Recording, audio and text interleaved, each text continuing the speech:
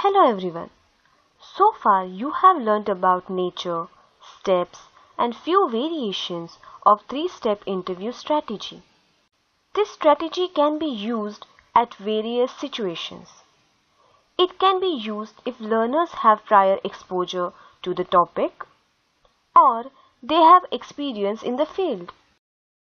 Even if teacher intends to capture students' reaction or opinion on any poem or an article, this strategy proves to be very useful. Some of the experts also advocate use of this strategy for summing up the session. It is said that cooperative learning strategies are proved to be very effective if planned and executed well. Thus, planning and implementation play crucial role.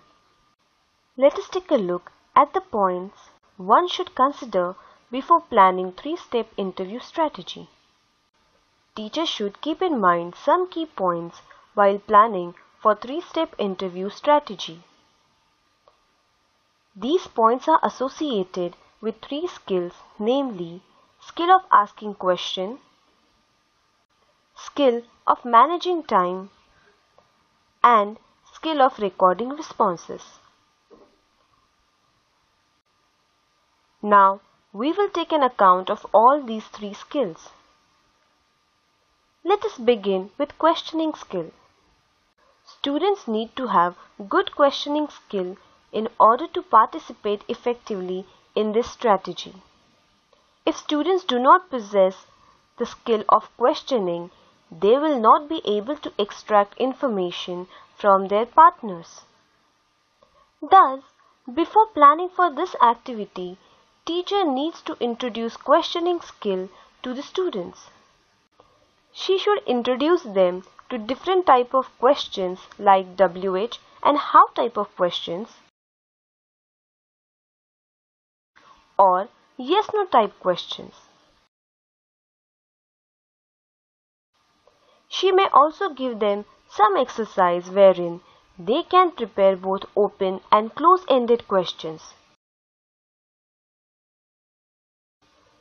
This will equip students for participation in the strategy. The second skill is the skill of managing time. Here, two points are to be considered. First, teacher should reinforce the need of take time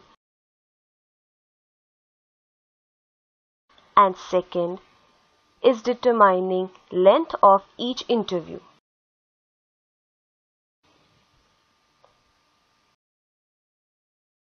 Teacher should teach students to take appropriate time for answering questions or for giving responses. She should make it clear in the beginning itself that time should be managed effectively. There are two possibilities. First, student might take very long time while answering question. Or the second possibility is student might push his or her partner into a rapid fire round in order to obtain maximum information. Let's see what will happen in both the possibilities.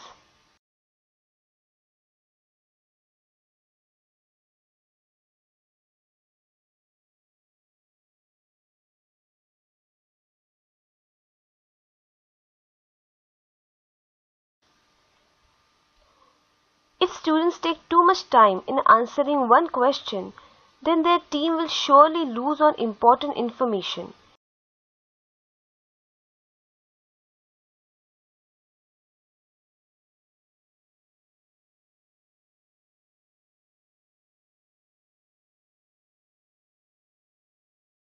And in second possibility, student might not get enough opportunity to give proper answer. Thus, teacher should bring this issue to the notice of students and she may ask them to have blend of open and close-ended questions. This will allow students to manage their time in an effective manner. They might answer some questions in just yes or no format in order to cross-check some of the important information and elaborate on few. In addition to this, depending on the age of the students and their experience with this cooperative learning technique, teacher may adjust the length of time for the interview. This will allow learners to take appropriate time for giving proper answers. Third and the final skill is the skill of recording responses. Teacher should teach learners to take notes and noting down key points from the answer. She might also teach students to make use of recording sheets for better recording of responses. After effective planning, care must be taken while implementing the strategy.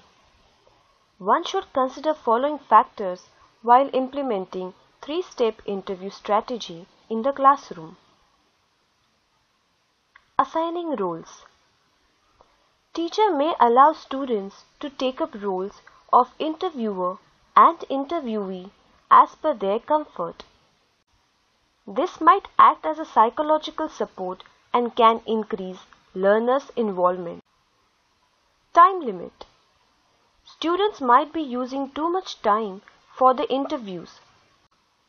That's why teacher should set time limit for each interview and then strictly disconnect the interview. Pairing of group. Here, teacher may not focus on heterogeneous grouping every time, but if used, then it can work in favor. Giving hints. While working in this strategy, students need to ask precise and appropriate questions. Thus, teacher can equip students with questioning skill.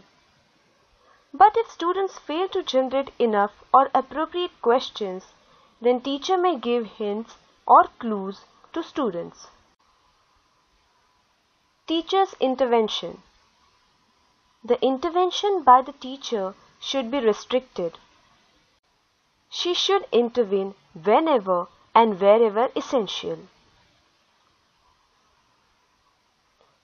Instructions Teacher may give clear and precise instruction to avoid chaos during the activity. This will also allow student to be more focused. For younger students, Teacher may write down instructions on the blackboard to aid students in the process. End of the activity. Post-activity discussion plays a crucial role in learning of students.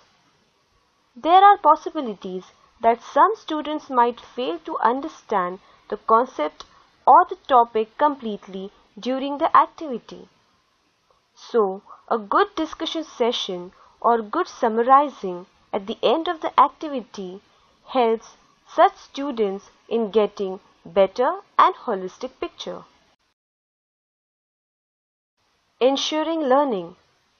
Teacher should evaluate or give assignment in order to ensure learning.